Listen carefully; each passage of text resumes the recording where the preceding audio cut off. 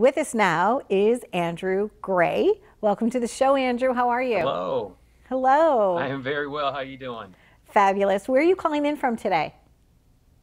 I'm calling in from sunny Los Angeles. Excellent. The Sunshine State, Cali. Woohoo. Now, did you grow up there? Are you from California originally?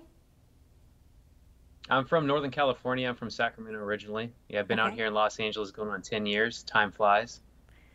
Time does fly. I grew up in St. Louis, Missouri, and then I moved out to New York um, for similar, you know, aspirations to work in our industry, in the entertainment industry, mm. and film and things like that. How did you get your start, Andrew? I got my start, honestly, by having a dream, like most kids do uh, watching Saturday morning cartoons, uh, watching the Power Rangers come on, um, and just wanted to do something bigger with my life. What was the audition process like for that? When you like had to audition to become a Power Ranger, or was it something that a casting director just chose you specifically? No, well, first, you know, me, my wanting to get into the entertainment industry, I didn't know when I was a kid it was an actual business, you know. Um, but uh, when I came to Los Angeles, that's why I came out here was to get into the business, and um, I got representation with management, put myself out there to get an agent, um, was able to get signed. And actually, to backtrack a little bit, I went to New York right before I got signed and entered an international presentation of performers, a competition where I found my management and my agent.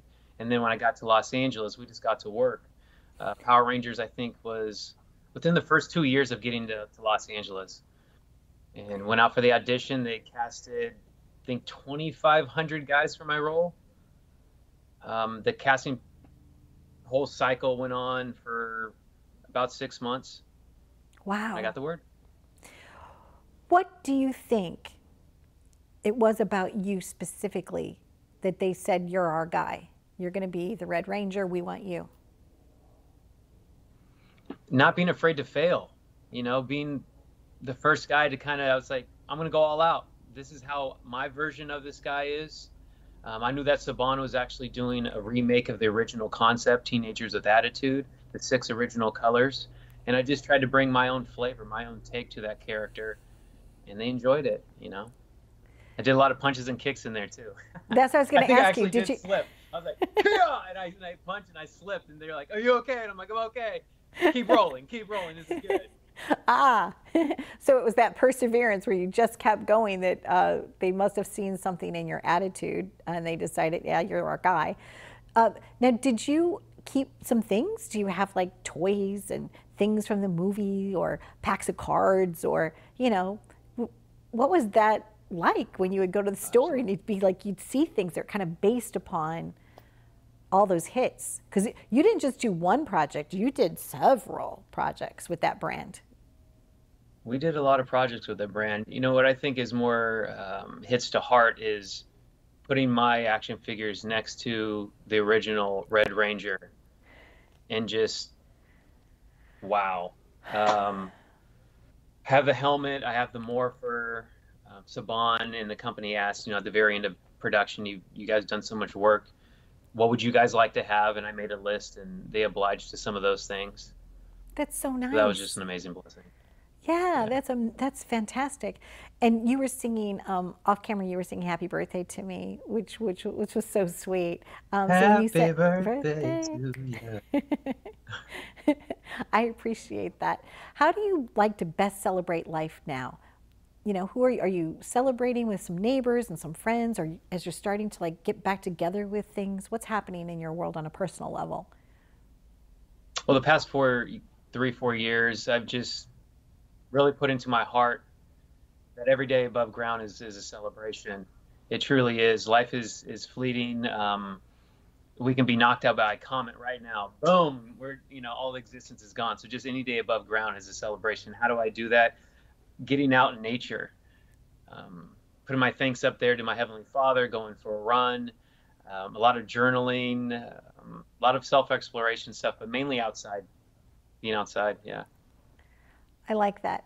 And uh, Healthy when stuff. you when you were um, finished on some of those projects, did you find that your physical fitness was important to you? Because here you went from, you know, being completely athletic all the time, all day long. Um, did you put in place some martial arts or something for yourself to keep your body active?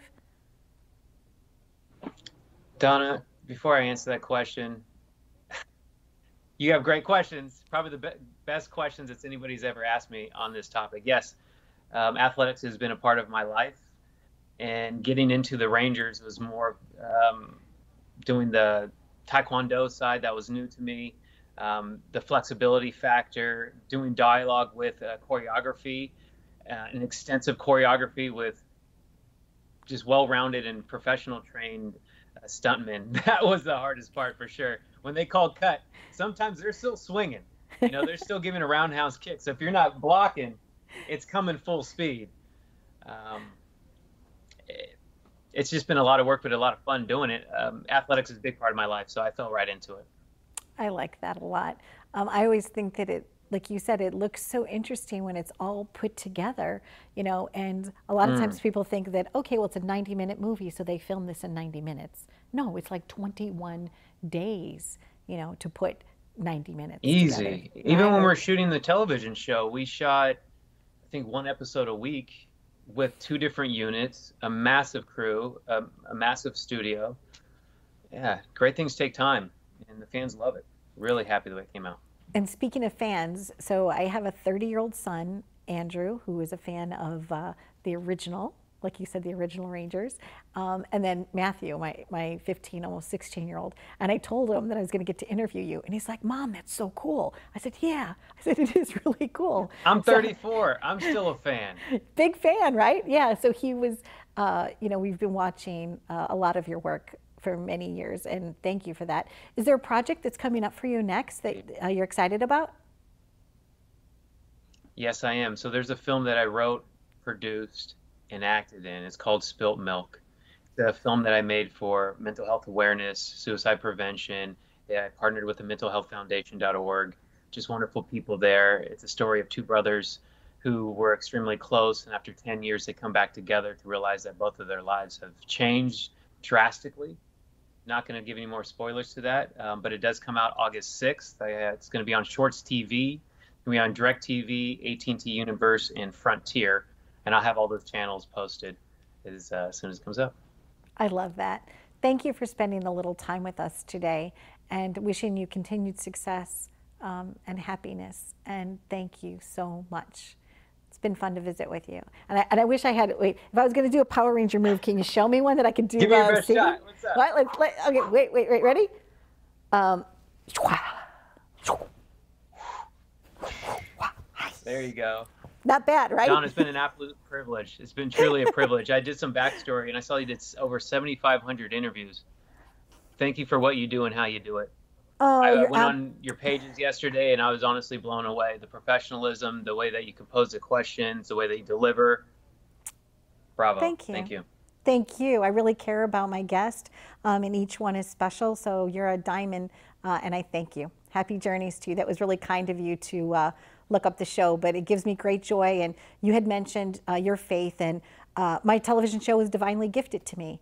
Uh, December 28th of 2008, when I was sleeping, I dreamt the entire television show in color.